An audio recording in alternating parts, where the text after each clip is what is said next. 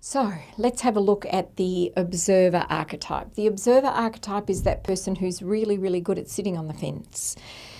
They observe life.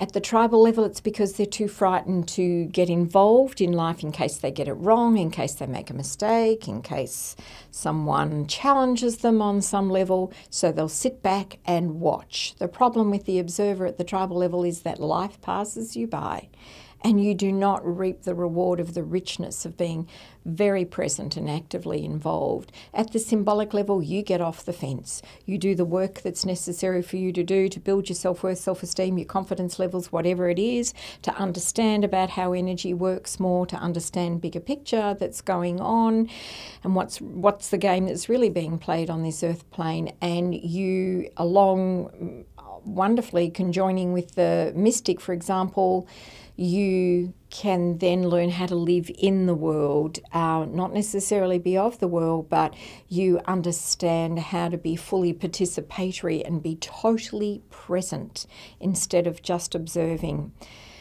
there is a skill in understanding and learning how to be the observer with the mind and not buy into all the mind's shenanigans and how monkey mind operates.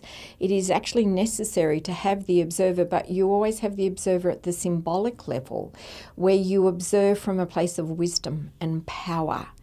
Whereas observer at the tribal level, particularly where life's concerned, is sitting back because of fear.